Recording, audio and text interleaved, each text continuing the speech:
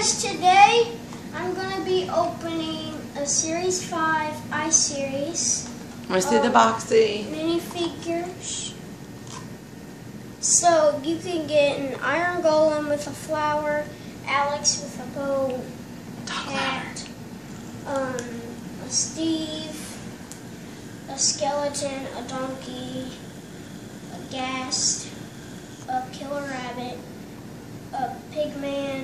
chicken zombie, a teleporting enderman, which I think is because I felt it, and a mm. wolf with a bone. So I'm like 100% that it's the enderman. So, yeah.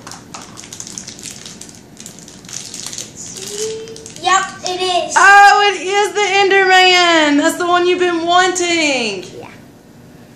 Oh, he's the bad guy, kinda, isn't he? Yeah. And he's the one you have to beat at the very, very end. Uh-uh. I thought he was That's the. Ender Dragon. Yeah. But you've beat the Ender Dragon, haven't you? Uh-huh. There was also also the wither. Let me see the box. The wither is harder to beat than the Ender dragon. So that's what the box looks like.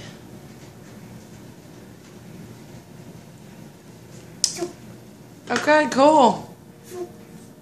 Well, and Callie would be here to show you all what Shopkins she got, but she's being a little crybaby, and she's where, Dickie?